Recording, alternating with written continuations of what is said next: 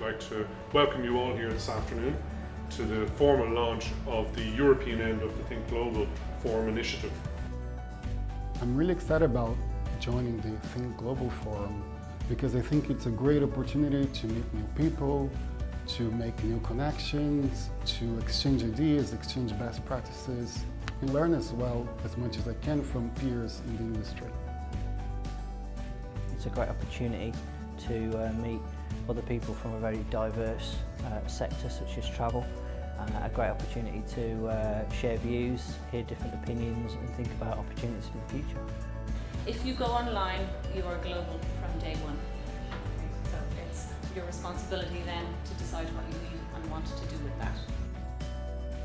And I'm interested in being part of the Think Global Forum because I've always had a passion for delivering the most superior customer experience regardless of their language, where they're from, uh, and, you know, and meeting other people who have a passion for the same.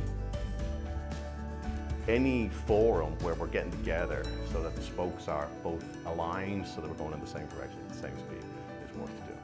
Um, and that's, that's really what I'm doing today. It's about, it's about me calibrating my ideas for the future.